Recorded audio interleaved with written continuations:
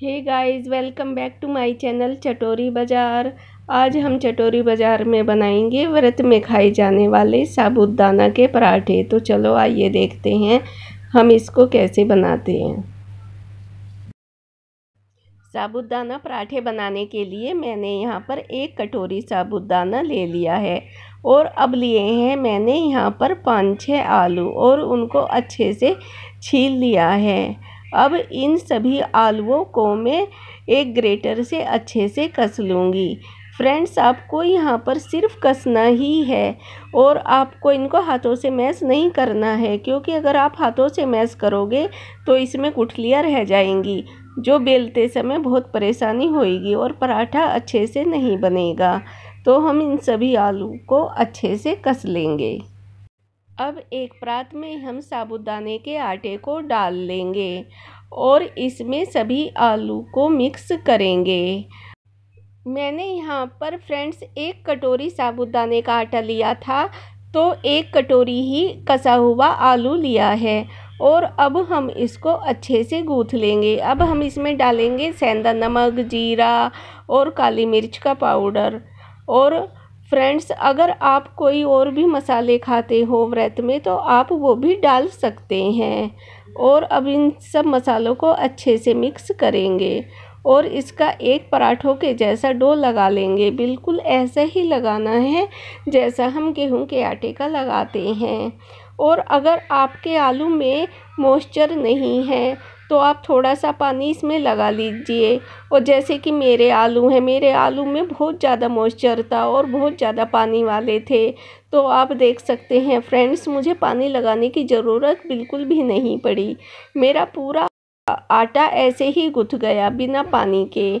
तो वो आप देख लीजिए, आपके आलू किस प्रकार के हैं। अब हम आटे की एक के बाद एक सारी लोइयाँ बनाकर रख लेंगे। और फ्रेंड्स ये वाला साबुदाने का आटा आप एक कढ़ाई में भून कर पीस कर रख लीजिए और आप इसको पूरे महीने के लिए स्टोर कर लीजिए।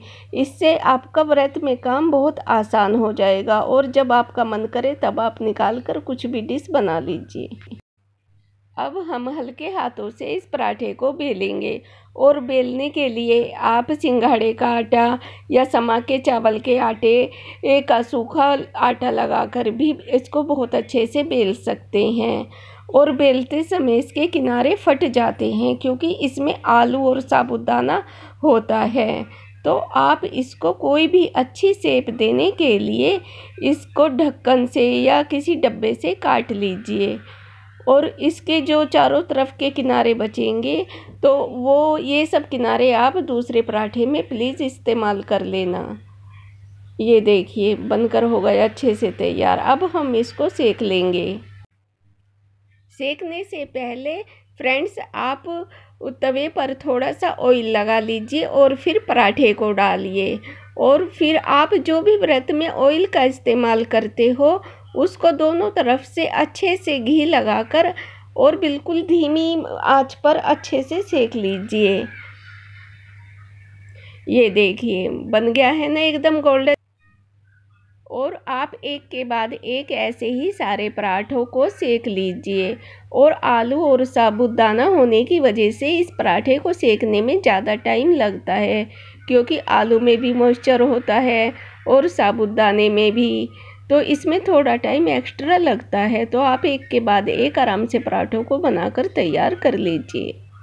ये देखिए फ्रेंड्स मेरे सारे पराठे बन करके तैयार हो गए हैं और आप देख सकते हो कितना गोल्डन कलर आया है। और आप इन पराठों को व्रत में खाई जाने वाली सब्ज़ी के साथ, रायते के साथ या फिर हरी चटनी के साथ भी खा सकते हो।